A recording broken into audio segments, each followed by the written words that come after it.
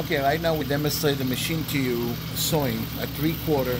As we changed that part, I wasn't happy with that, but now it's smooth, tight, and beautiful. And now, if you want to go.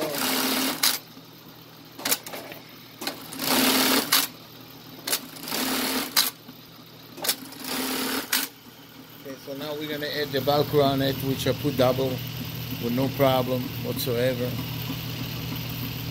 There you go.